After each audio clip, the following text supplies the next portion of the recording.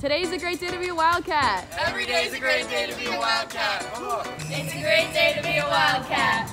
It's a great day to be a Wildcat. Every day's a great day to be a Wildcat. Woo!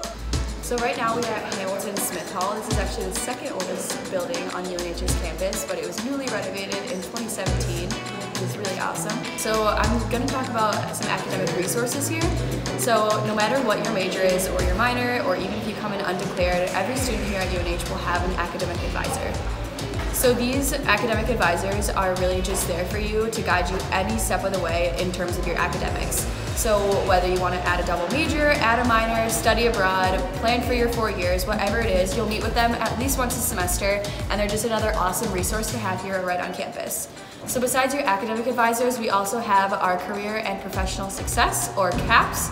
So every single major also has CAPS and they have things like LinkedIn workshops, resume review, mock interviews, and they have drop-in hours so you can go in to talk to them and if you're trying to find a job or an internship and oftentimes they have experience in the field that you're trying to go into which is really useful. We have two large career fairs, one in the fall and one in the spring, but then we also have 26 other career fairs throughout the whole year and some of them are more major specific.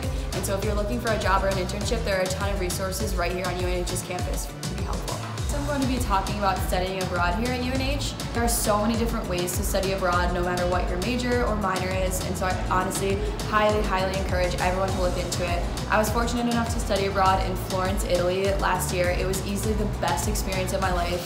Being able to travel all around Europe and really experience the Italian culture was something that I'll hold dear to my heart for my whole entire life. But another really awesome part about it is that it's some people think that financial financially it would be out of the picture. I actually saved $10,000 by going to Italy for this semester, and financial aid almost always carries over. So I always encourage people just look into it. The possibilities are endless, and if you put your finger on a map, you can probably find a way to get there.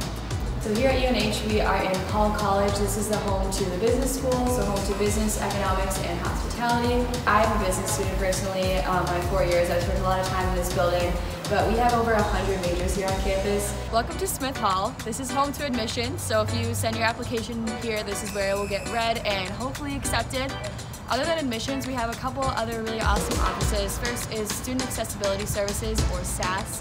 So this is for anyone who, it's kind of for a wide variety of things, whether you need extra time on a test or if you break your leg and need physical help getting from class to class, this is the place to go. We also have PACS. This is our Psychological and Counseling Center.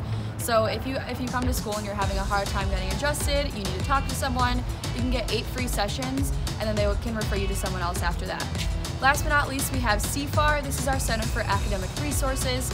And this is different than a tutoring service. It's more place to help you develop good study habits. So if you live on campus here at UNH, you'll pick up your mail right here. It's located in the Memorial Union Building, or students like to call it the MUB. So it's very convenient, centrally located, and if your parents are nice enough to send you a package, this is where to come to pick it up.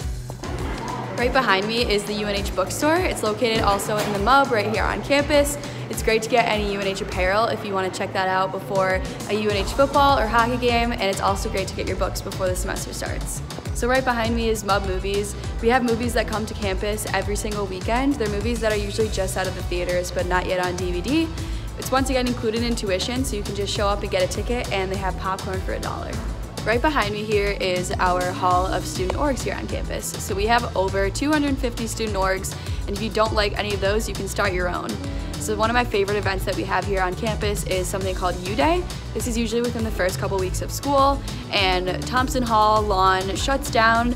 All of the university's organizations set up tables and so that you can walk around, talk to them, see what you, you would be most interested in. So that's a great way for the whole university to get together and for you to get involved.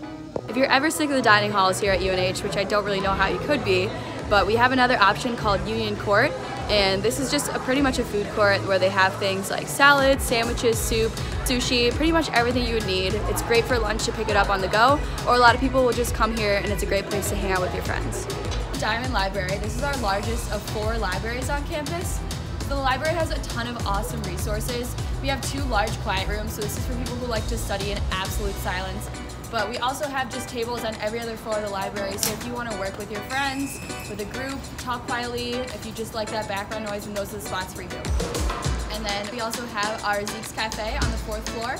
So you could literally live in the library if you needed to. We have everything from coffee, bagels, snacks, anything you would need to get a good study session in and be the most productive you could be. Behind me is Health and Wellness. This is our family practice right here on campus, which is super convenient. If you ever are sick um, and need to go to see a doctor, we have a fully operating medical service right in here. We also have a fully operating pharmacy.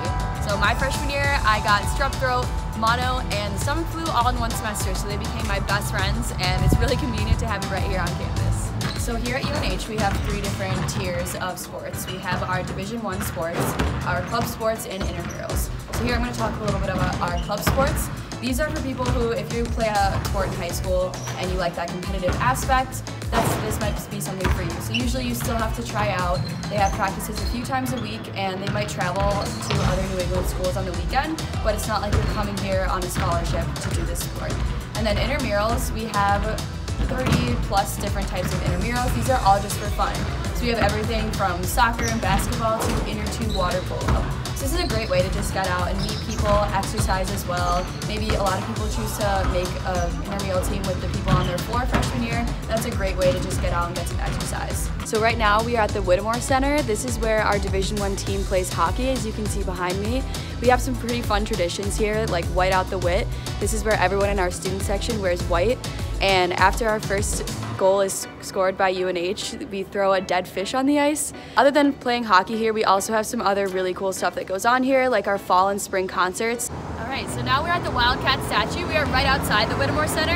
You can see that the nose is rubbed off a little. That's just another one of our traditions here at UNH. People rub the nose for good luck, so whether you're having a test or you want to rub it before you go in for a hockey game, rubbing the nose will always give you a little bit of good luck. So I'm going to talk about transportation here on campus. We actually have the largest bus system in the state of New Hampshire. So there's a bus coming up right now, and this is included in tuition for students. It goes all around campus, as well as to neighboring towns like Dover, Newmarket, Newington, and Portsmouth. So if you're ever looking to get off campus, it's a really easy and affordable way to do it. Besides that, Right behind me, right back there, is our Amtrak station. There is a stop in Durham that is right in the middle of Boston and Portland, Maine. If you wanted to just go to a concert, museum, anything like that, we are just a train ride away, which is awesome.